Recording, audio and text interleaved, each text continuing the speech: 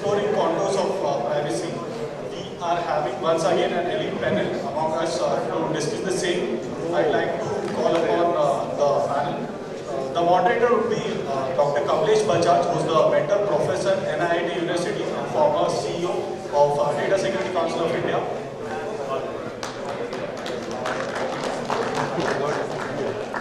Good, is good. The second panelist would be Ms. Mayurakshi Ray, who's the VP Solution Engineering Aegis Networks.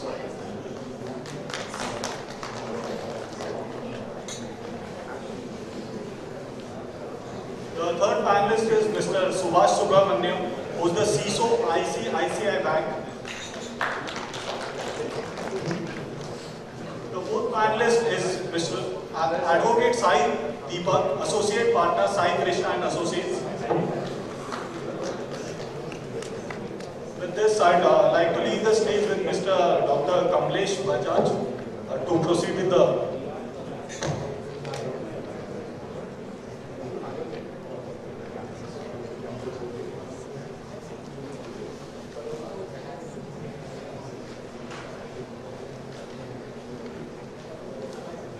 Good afternoon, friends. Uh, It's my pleasure to be here and talk to you on this very important subject of exploring the contours of uh, privacy. It's a pleasure to have me, three eminent panelists to talk about the subject. And uh, that includes uh, Mr. Subhash Subramaniam, Chief Security Officer, uh, ICICI Bank. And then Mayurakshi Ray, she's Vice President, uh, uh, Sales and Solution Engineering in India. And then the third panelist is uh, Sai Krishna and Associates, is an advocate for J Sai Deepak and Sai Krishna and Associates.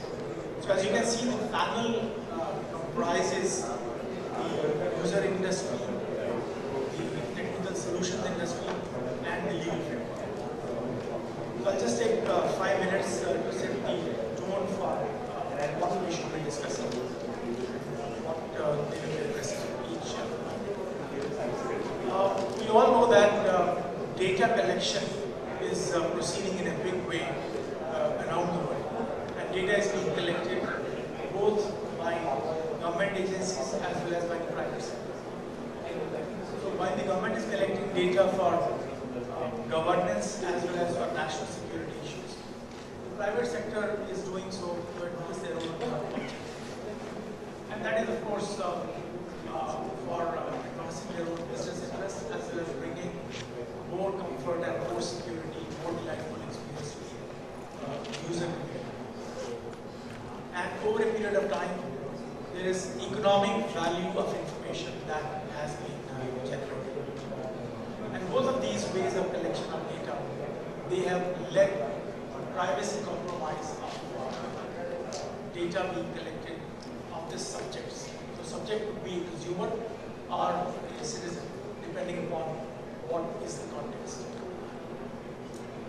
Then we have seen that states have emerged as great powers, if I may use the word uh, imperialist powers in a different way. That is what we have seen it happen. For example, in the context of uh, National Security Agency in the US, where data collection has proceeded in a big way, uh, largely for national security issues. And then at the same time, we have companies which are emerging as monopolies on a scale that is unprecedented. And in the cyberspace, creation of monopoly, and then controlling the space. I will not name the companies. We have seen examples that uh, this is something which is happening, and the bigger are becoming bigger with the first mover advantage and the way they have been collecting data and then using this. So big data means more business opportunities, collect, correlate, and then do targeted uh, advertising, which is typically the business model. And I'm not talking about the brokers of information everywhere, brokers of data that is being collected. So this is uh, one scenario. So clearly, private sector is violating the privacy of uh, consumers and uh, citizens. And this kind of data includes everything. Personal information, sensitive personal information. Which brings us to the question of who owns the data. Is my data collected, whether from the social media website or my surfing habits on uh, any website and so on. So this collected by the private companies. At the same time, governments collecting my personal data through surveillance, big data surveillance and so on. So is it my data or does it belong to the company that is collecting it? And that is collecting it under the law or outside the law? So this data does raise this question of uh, who owns the data. So what is the kind of legal framework that is there or that should be there? In a country like India, I think we're still in the uh, nascent stage, although technology uptake uh, has been very high. And we are seeing that uh, I mean, this kind of thing is happening in a big way. So we are literally at the cusp of uh, a digital India revolution, smart cities, Internet of Things expanding. So which means that we are quite uh, and more and more vulnerable to such data collection and hence violation of privacy. So we don't have uh, the privacy law yet. So it's a green field in a way, although there is of course uh, section 43 here and some other clauses in the uh, in the IT Act. So we have to understand what kind of a privacy law uh, should evolve in. Then we are seeing globally around the world, especially in Europe, that uh, they are trying to replace their data protection uh, directive by regulation. So which means the regulation will be applicable to all the European members. Uh, they will not have to legislate, in, uh, legislate the same in their own parliaments. So once the regulation is created, then uh, they will have to follow that. So in the regulation, a lot of things are happening. And we'll see how uh, this uh, discussion pans out. But the regulation has uh, a lot of expectations that individuals will have the right to be forgotten. So we'll see whether technology solutions are there uh, or not, whether the law can actually be uh, created in such a manner that it is actually implemented. For example, user profiling. Can we build a single image of an individual given the so many databases and we have the great possibility in our country with UID numbers uniquely identifying a single individual. So if the same UID number is built into all the apps in the country, all the government regulations uh, insist on that, then profile of an individual can be created. So which is a very nightmarish situation in terms of absolute uh, slavery of the individual, no privacy also. Individual himself is giving all his data on the uh, social websites, not understanding as to what is ending up doing. And then, in the context of UN uh, uh, privacy resolution in the digital age, which came as a result of the NSA uh, surveillance. So there was a resolution passed, privacy in the digital age. So where they are talking about countries creating redressal mechanisms of uh, any privacy being violated, there should be a, a, a process clearly laid out which the citizens can take uh, recourse to. So I think with this background, I would like uh, the panelists to address uh, these three main concerns. So the first one are the economic value of information and what kind of privacy practices are there or should be there. I will have uh, uh, Subhash address that as a banker because banks and telecom companies are the ones which are collecting a lot of personal data other than the e-commerce websites, travel websites and so on. And then after that we will have uh, uh, Mayurakshi talking about what kind of technical solutions uh, are emerging or should be there protect the privacy of individuals.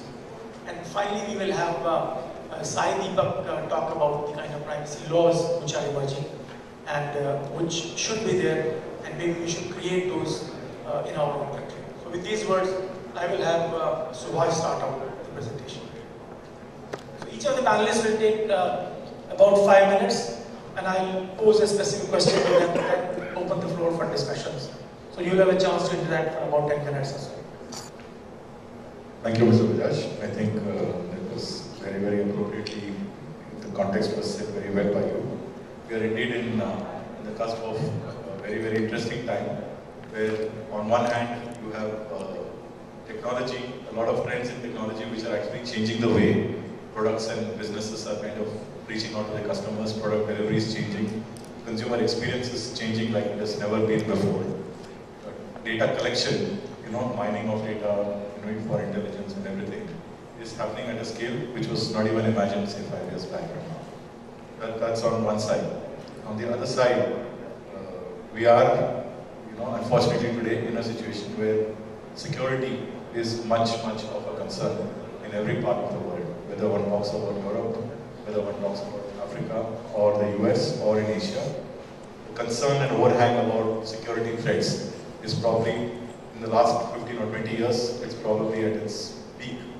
You know, I'm, I'm not even talking about the recent terror attacks in Paris. I'm talking about the whole sequence of events leading up to that, the Arab Spring and so on. So in the context of this, historically, even in the best of times, it has always been an oscillating pendulum in terms of security versus privacy.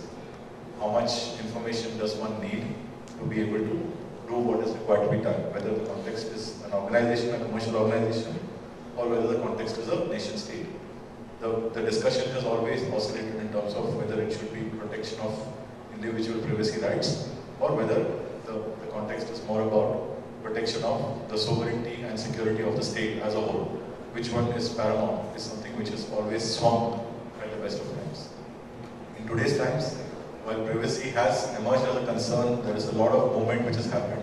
Different movements, let me put it, it's not one single movement. Privacy laws and regulations. Often, to the shock of uh, many of the citizens of these countries who thought they were protected by privacy laws, they found that even the most fundamental privacy principles had been blatantly violated all along by nation states which had overarching regulations to have access to that data. So without getting into specifics, that is the context in which we are. Now, in terms of commercial organizations, which is the question Mr. Bajaj posed we are in a competitive environment, whether it is banks, financial institutions, insurance companies, or whether it is uh, new age e-com companies which are trying to reach customers. There is a democratization, if one may put it that way, of the way markets are being addressed now. The you know, overarching advantage which large enterprises had, let us say 15, 20 years back, has really swung the other way because of democratization of information. Today, small enterprises, one can't think of a better example than let's say WhatsApp, completely non-existent company which was non-existent say 7, 8 years back, today is perhaps occupying the mind space of the entire you know, uh, community which uses uh, mobile phones and is probably the most widely used app across the world. For a company like this to come to the fore, you know, challenging established giants was perhaps unforeseeable a few years back. So this democratization of the way the trends have been leveraged is at the expense of something, right? There is a lot of data mining which goes in by all these companies to be able to get the competitive advantage. In doing so, is there a violation of fundamental privacy rights which individuals enjoy? I would think the pendulum has been all along so far. Companies have harvested information, taken it to their advantage, and think the reasons for it are also obvious. When somebody sets up an enterprise or an established company tries to gain market share, I don't think privacy is on the top 10 priorities for the CEOs of those companies or the entrepreneurs who try to set up those startups. They are there to find a place in the market, they are there to deliver a product or a service and become a distinctive differentiator in the market. Privacy as a concept comes in at a much, much later stage when one gets confronted. So I think organizations, at least in this part of the world, were not so mature in terms of the prioritization that needed to be given to the fundamental rights of individuals with regard to privacy. There are well-established principles which are laid down. I think the founding uh, guidelines in this regard were laid down as old, as long back as say 40, 50 years back. OECD had laid down eight guiding principles for privacy.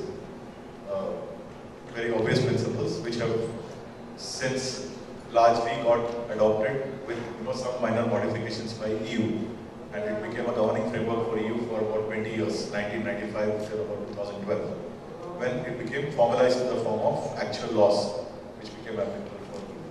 So those seven guiding principles are pretty largely implemented in that part of the world. In Europe, the importance accorded to privacy by companies, the, the oversight on the fact that privacy principles are upheld is very strongly enforced in the legal framework there by the regulators there. penalties for violation of privacy are fairly stringent. So I would say maturity of privacy practices is very, very high in that part of the world. It, it would be interesting to see whether that really changes, at least in the context of the nation state, after the recent uh, you know, turn of events in, in, terms of what happened in Paris and so on. But that's a different discussion. Uh, borrowing from there, I think there are sporadic efforts which have been made by companies in this part of the world to try and put basic frameworks in place. It would have helped if there was a comprehensive privacy bill or a privacy act which was passed in India and kind of uniformly made applicable to all the you know, commercial organizations as well as government organizations. Today we do have some uh, guiding laws for privacy, but they are not overarching. They are a part of uh, the IT Act. IT Act fairly clearly lays down certain principles which need to be upheld and what need to be done by organizations in respect of that. But I would say organizations have a long way to go before they really formally internalize those principles in letter and in spirit and, and uh, you know, go towards protecting privacy rights over to Lakshmi. Um, Thanks, Sumesh. And you know, uh, moving or rather expanding from where Sumesh left off, uh, I'll tell uh, two facts that we, you, all of us feel, and you will see it in your day-to-day lives. So uh, we had um, gone for a trip in the US, and uh, our photographs were there in our smartphones. Right? The photographs were clicked in our smartphones. Now all of us have some form of a Google account, right? About 10 days after we came back from that trip, Google sent us a link in which you know they kind of said that you know your US trip uh, you know memento. What they had done, okay, is they just collated the photographs which they linked it through our Google account. Uh, because the photographs are always date and time stamped, they just put a sequence to it they put up a story, right? That you know they said that you know you saw the Statue of Liberty at so and so, and then you made a visit to so and so, and you know it is as if that you know we had created it, and it was like you know it was created completely by Google without any information or data provided by us. Such is the reach of social media, right? The second example, you uh, all of us having smartphones have access to the apps right? And the apps have become an integral part of our life. We need apps for booking a cab, we need apps for you know ordering a food, we need apps for paying uh, you know uh, banking apps, and you know we I mean there are so many small and big apps. The moment you know you try to you know go to a Play Store, whether you use Android or an iPhone, you go to a Play Store or the iPhone store to you know to uh, download an app, you will see that every app asks for permissions, permissions to access your identity, your Wi-Fi data, your SMS details, your uh, address book, your contact details, so on and so forth, right? Most of us, because we really want the apps, or also maybe because of the fact, fact that we are maybe inadvertently or just, just you know, normally do not know that what the implication can be to give access to those data in our, those are our personal records, those are our private records. We just say yes and you know download those apps. What is the effect of those? That you know those data, the moment the apps are saying that they are requiring permission to access those, every single of those data, like if I make any change to my contacts, the SMSs that I'm receiving, even the IPs I'm using through which I'm connected to a Wi-Fi, every single thing is getting collected by the app company and maybe the parent company, they are getting stored in their server. Right? So this is the extent at which you know we are as a consumer or as an uh, organization or as an enterprise, we are vulnerable to, to you know, the, to, to intrusions of privacy, right? Article, uh, I think, you know, uh, 21 of the Constitution talks about fundamental rights and right to privacy is one of them, right? There is a, uh, you know, section 43A of the IT uh, Act of India. But if you know, uh, you know, each of them are prescriptive, we do not really have an act of privacy which is enforceable like the EU Data Protection Act. However, even with the EU Data Protection Act as well as the guidelines of section 43 etc., right, there is one part whereby you know it, it, it says that the citizens have a right to privacy, but the right to the states goes supersedes that, right? Which means that the states do have a right to, you know, act, to, to intervene into the citizens' private data. Maybe because of, you know, different reasons like, you know, to collect, to, to you know, uh, put that for, you know, a data collection or, or, or a device that the UID requires that. Or maybe to, you know, uh, put that for, you know, some uh, security reasons, etc. But, you know, some recent events in the West okay, has shown us, and Subhash also touched upon that, that you know the state's right to that can actually you know uh, violate and potentially violate enterprise private data and as well as individual private data. And those are the things that no technology can prevent. In fact, you know, uh, you, you see that you know open reports, I'm sure all of you have read, whereby you know uh, the U.S. security agencies are asking for air gaps to technologies which otherwise prevent collection of data, right? They want, you know, uh, air gaps in security tokens. They want air gaps within encryption devices, right? So technologies are, uh, the technologies have been there, and but then, you know, one, those technologies have not really been till now focused on protecting privacy. They have been there to protect security, right? There is a thin line between security and privacy, and technology needs to, you know, really evolve to protect privacy as a dedicated effort. Of course, you know, there are technologies which are emerging, you know, to, to you know, even collect data or store data or transmit data by, you know, considering privacy. Say, for example, you know, you can, you know, collect the data and uh, you know then but then you know after some point of time you have to automatically erase that data privacy laws always talked about asking for permissions and defining clearly before you collect any private data so those technology and framework definitions are there it is just a question of enforcing them further Okay, thanks much. And we on to Sai Deepak now for the uh, legal position. Thank you for the clarification. My name is Sai Krishna. My name is Sai. Sai Krishna happens to be the name of the managing partner, and I don't want to give passing off as the managing partner. And uh, it's a particularly thankless task to keep the audience engaged post lunch, so I'll try my best. Um, I'm, I'm actually grateful to the other speakers for touching on quite a few issues which I wanted to, because it has actually exposed quite a few myths. One, there is no right to privacy. Two, the court has actually seized of this issue because this is one of the issues that the court has actually chosen to decide on in the Aadhaar petitions. It so happens that we are ones who are representing the petitioners against the Aadhaar company. We also happen to be who were uh, part of the uh, Shreya Singhal decision, where we represented the intermediaries. So this is to touch upon the aspect of. Let's just clarify a couple of things and chat in a few minutes. One, there is no fundamental right to privacy as on date. That's the position. Let's be very clear about it. Now, uh, Subhash, if I may address you so, uh, when the responsibility of private organizations, whereas man was basically talking of it from the point of view of individual rights to privacy. Let's look at who are the prime movers and who are responsible for this entire. Let's say who are the dramatis personae in the first place. Right to property is no more a fundamental right. Right to free speech is a fundamental right. Right to religion is a fundamental right. Right to reputation is part of section Article 21 and therefore it's fundamental. Why is it that right to privacy is still not a fundamental right? Has anybody asked this question? So many aspects of individual identity have been treated as fundamental right by the Supreme Court in multiple decisions. But right to privacy continues to be debated. Why? There's a very good reason for this. This is a cultural and national attitude to privacy. Let's be very clear. If this was so fundamental and if we were particularly serious about privacy, then there would have been some kind of a pressure on the government or the judiciary to take cognizance of this right and say, I'm sorry, in this country we continue to treat right to privacy as a fundamental right.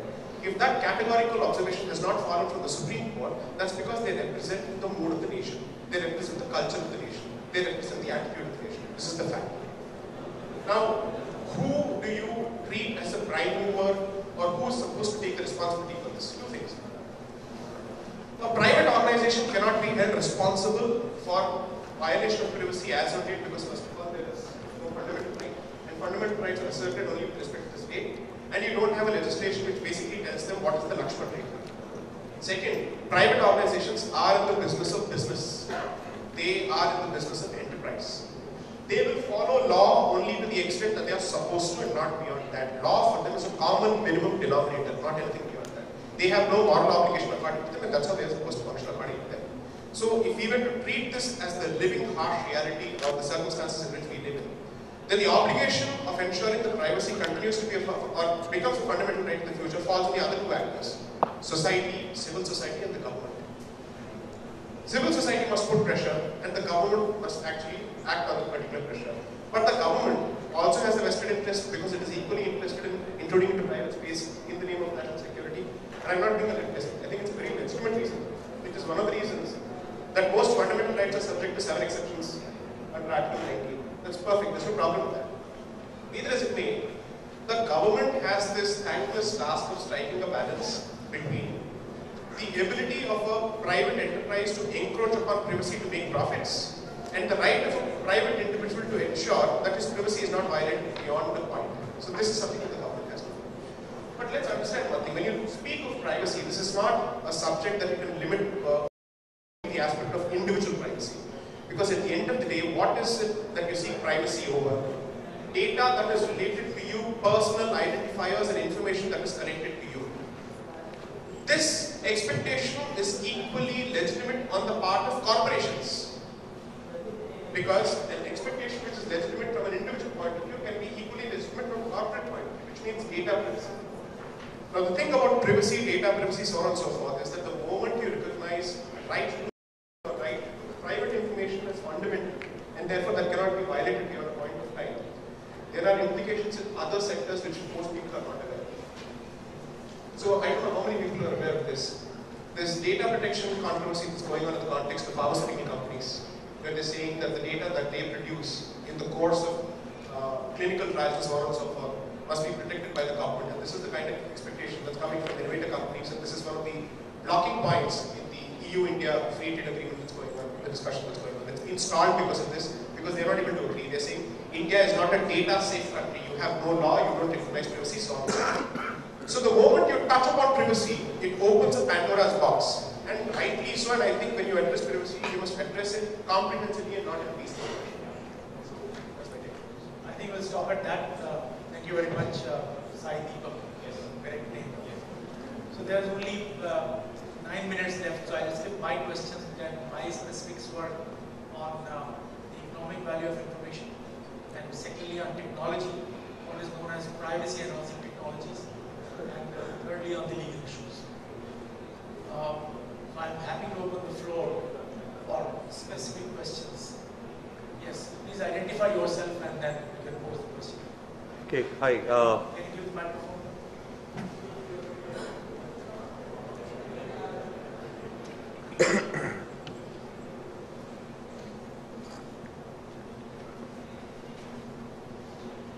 hi. Am I audible? Okay, uh, my name is Anubhav Batla and I represent SDG Corporation. Um, one question now, as we know that uh, you know the, the recent law change that's taken place uh, in EU, and uh, uh, as you have just mentioned that you know India, we don't have any law, we don't have any controls right now. Uh, but the question really is, in, in you know, if you really look at the change that has taken place, it has given consumer the more power, uh, you know, to have right on his or her own data. Uh, that's one. Second, uh, as you know, 28 countries have to abide by it by next early year, you know, starting early year, and um, not to do so uh, is uh, 4% as a you know penalty fee for their global sales. Uh, to that extent, the countries are thinking and the governments are thinking. Now, my question really is, uh, anyone can answer this, you know, is that in India, uh, today we all know that, you know, Google reads all our emails and a perfect example given by, uh, you know, uh, ma'am over there. Uh, who owns the data really? That's my question uh, in India. Is it I, you know, so the status is quo. Am I, as an individual, responsible for my own set of data?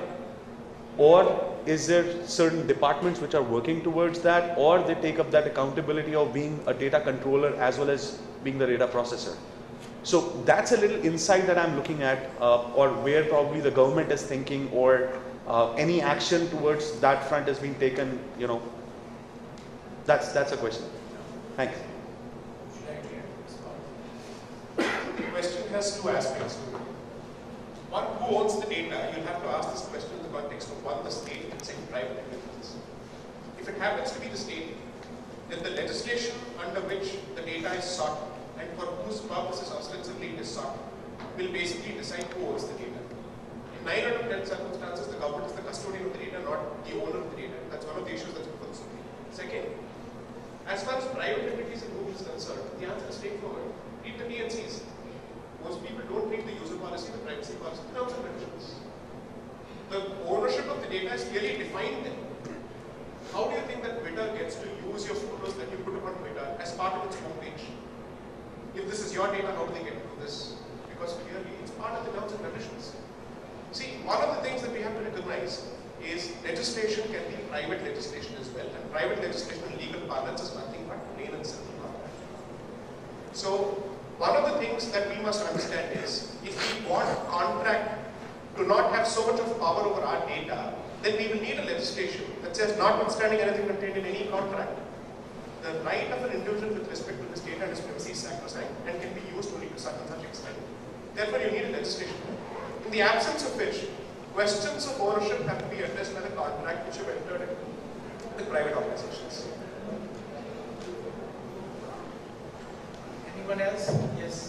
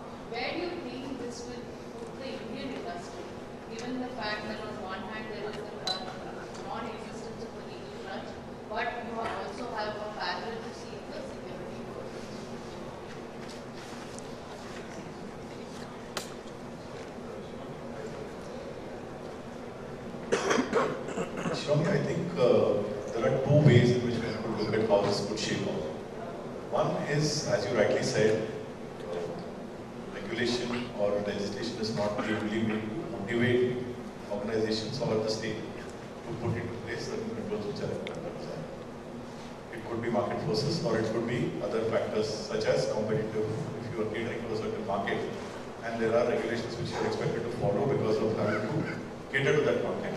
Companies do right? Today, the Indian IT, ITES industry follows a lot of guidelines which are really not laid down in India per se, but because they cater to the geography, they need to put those place. So I think, to a great extent, one has already seen this evolve. EU guidelines were in place way before US put forth any of its principles. Large corporations in US, which needed to do business in Europe, found out a way to do it by way of the safe harbor privacy principles, which, while it did not adhere to the EU guidelines per se, it gave them a way to say that as long as we adhere to certain basic principles, it would be considered that we are cautious as far as, far as doing business in Europe is concerned. I see maybe something might evolve in that direction. And the lead for that may be taken by companies which have a large stake in doing business in these spaces. That's one way to at it. I think I'll supplement uh, uh, based on my personal uh, experience also. The European position is different. Is they don't go by the kind of practices that we have evolved for addressing the American customers. They want the laws to be exactly mirror image of what they have created. That is where the problem lies. The law has to declare this as a fundamental right and many such things have to be incorporated. Privacy law which the bill that we created under Justice A.P. Shah committee, which I happen to remember, even that is not acceptable to them. We talked about all the kind of uh, globally accepted privacy principles to be part of that, and uh, exemptions in the manner in which uh, EU directive or regulation has provided for. But uh, they want exactly similar to what.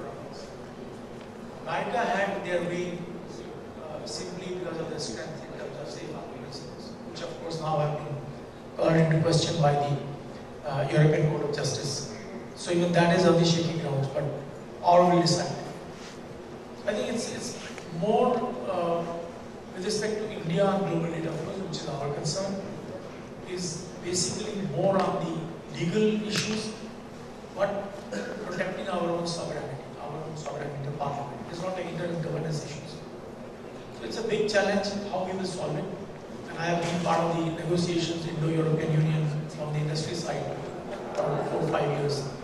And I don't see anything really happening unless we can have a, a coercive pressure as a bargain the overall free trade agreement. You would like to supplement this, Babu? I completely agree with sir. Because uh, one thing is they want us to change our position completely on the aspect of data protection for pharmaceutical related issues. This has a serious bearing on our public interest and public health issues which we cannot compromise on. That's just one aspect. But let's consider the aspect and uh, taking from what uh, just mentioned. I think that's a very interesting point. You're absolutely right that the absence of a legal framework isn't uh, alone uh, something that we fall back on something next. Let's take one example. I'm sure most of us have read these news reports of a Hyderabad-based clinical trial organization which was called up in uh, Europe because it touched clinical trial data. That was the allegation. And they were given two opportunities to rectify that and come clean on that, and yet they were not happy with it. And ultimately, that entity was blacklisted. And the drugs which were the subject matter of clinical trials were ultimately banned from being imported into Europe. Now, in a situation such as this, India has law or it doesn't have law really doesn't make a difference because at the end of the day, you're catering to a customer who says, look, I want to comply with these things. If you don't comply with it, your product doesn't enter my territory and all this. But two, there are certain segments and there are certain markets which depend on the integrity of the information itself. So, in the absence of a law, which I think is certainly bad because there is no certainty and you don't know what is the point that you cross where you end up becoming illegal or at least unlawful, if not necessarily illegal because there's no law. You will try and comply to the best uh, uh, uh, of your endeavors, to the best of your abilities. And in that process, you'll perhaps even try and find out which is the legislation which, according to me, requires you to comply uh, with these restrictions the most stringent manner possible, and you take it upon yourself. But this too, again, you see, this is not an altruistic investment. This is a plain and simple business investment because you wish to cater to that particular market and therefore you wish to comply with something. But in markets and in segments where this is not exactly the requirement, what do you do then? Now, to take your point of this personal sensitive information, PSI and PI and the 2011 uh, rules, let me just put this about two months ago, I happened to write on this issue, and I'll, I'll tell you what are the problems with the definition. One, it does not apply to everything. Two, admittedly, this is something that applies only on the e-space, virtual space. What about the rest of the personal sensitive information? Where is the legislation for it? Today, internet happens to be a big thing and at least the most prominent interest in our face, and therefore we are looking at it from an internet point of view. What about information which exists in the real world, in the physical world? Even that protection. Where is the legislation for that? You go back to trade secrets, you go back to torts. You go to one court, you get a different decision, you go to another court, you get a different decision. If you can take example, there is so much of debate happening on whether or not India needs trade secret legislation. Let's say I happen to work under Kamlesh sir as his employee. I take a couple of his hard earned and hard accumulated databases and I run away. And he has done his best to treat this as a trade secret during the course of my employment. My employment been otherwise clear of that, all that is fine. He chooses to haul me up before a court of law. Let's say he goes before the Chennai High Court, Madras High Court, the Delhi High Court. You know what? Work against him despite merits being on his side. the fact that he is an employer or a former employer and an employee, and he'll be seen as a guy who's out to throttle competition, and people will not focus on the fact that otherwise I'm in the wrong. And there's the problem also. And this is a very common problem. Take a look at section 27 of the contract. That's about restraint of trade. You can't restrain trade or competition beyond the point. That provision is the bane of trade secret legislation because that is constantly used by every thief to basically say this particular term of the contract of employment is nothing but a way of, of choking, and stifling competition. And this, trade secret uh, uh, obligation which has been cast on me is uh, it's a different way of uh, imposing a, an anti-competitive restraint on me. That's how courts have been treating it. Which is why you need trade secret legislation, which is also another aspect of privacy, which basically says, notwithstanding anything contained in section 27 of the Contract Act, you'll continue to have protection for trade secrets. Very interesting discussion, but we are digressing, going into a different direction. We've already run uh, uh, over on the time allotted to us, but if there's any other uh, question, two more questions I can take. Yes.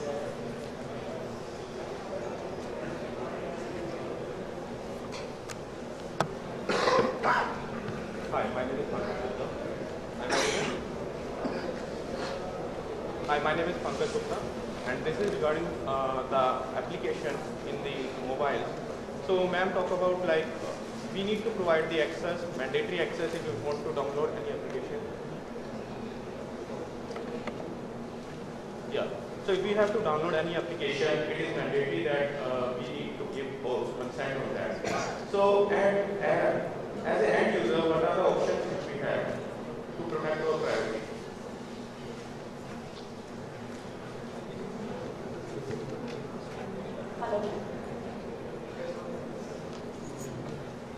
Uh, well, um, if you, unfortunately, the way the apps are working, if uh, all the apps are coded, uh, unless you give those permissions, the apps do not work. This is a this is a issue that I have actually interacted with my clients who many of the times are those app developers and it is a way of those apps being developed also. Now uh, the main, the precaution that we can take is that we can really be careful about which apps we are downloading. There are a lot of fake apps and that is a concern for you know uh, legitimate you know uh, enterprises like an ICICI. There are you know, if, even in the Play Store there are those apparent legitimate looking apps which, are, which, which look like an ICICI bank app but in which actually is maybe a phishing website. Right? So one, be careful about the app that you are downloading. Ensure that it is a really legitimate app belonging to the enterprise. Second, be also restrictive of the number of apps that you are downloading. Many times because you know our app looks interesting or it promises to give you something free, we tend to just go and download, right? Just you know, I have seen that an average smartphone of a user consists of about 25 to 50 apps, right? That is a little alarming considering the uh, situation now. So. Uh, be careful about you know what you are downloading. Also, if you feel that you know there is a need to restrict, then also be careful about who can have access to your smartphone. Right? Many a times we have seen that you know uh, very very simple thing, right? We allow our kids to handle our smartphones. They take it all the time to play games, and in, in the place of playing games, they also download stuff and you know they might also you know operate on those you know uh, apps that they download and you know pass on data.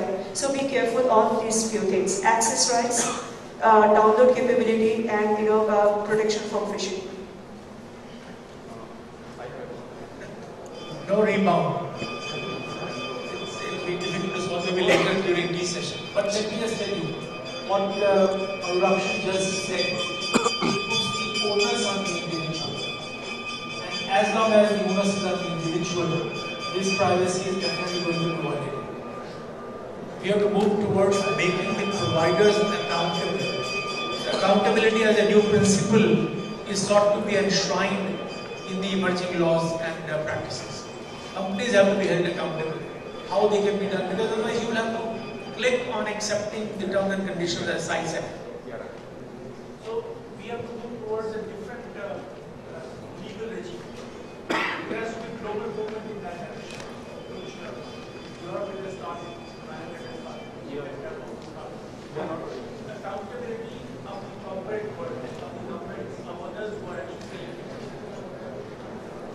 But follow these, take this precaution. But, but doctor, at the end of the day, as a data subject, I am, you know, I am bound to use that technology which is available. Yeah, this is, that's what I'm saying. Right. That's what I'm And- saying. and- and I that's- think this is a period when the debate has started. So whether it is going to take 10 years or 2 years for this to happen, whether the global governments and the industry will agree, will it move in that direction, whether the lawmakers will actually understand this. As this phrase, who owns the data, was by one of the senators in the US in the context of NSA surveillance, when their companies were losing out business around the world. So he started this debate, who owns the data? And let us move the data to the user and say it belongs to them. So it is a debate which has started and will continue for, my understanding, uh, quite a long time before fact, uh, Dr. Bajaj, uh, on the question of accountability, uh, that, that is also a question of debate, right? And you know, this, this debate we have uh, with, with my clients also. So, for example, who's really accountable? Is it the is, is, is it the enterprise who developed the app, who's providing the app? Is it the telecom service provider who's the carrier, right? Or is it the custodian? Maybe you know the data ultimately goes and gets stored in a central you know uh, custodian. So who's accountable? And that also brings into the point that Dr. Bajaj says that ultimately have a very very strong regulatory and legislative support to you know enforce into into these things to define clearly the ownership and accountability of of uh. I think with this, uh, we will uh, close the discussion and any further questions that you have, uh, the panelists are available uh, during the tea break. So with these very Amen.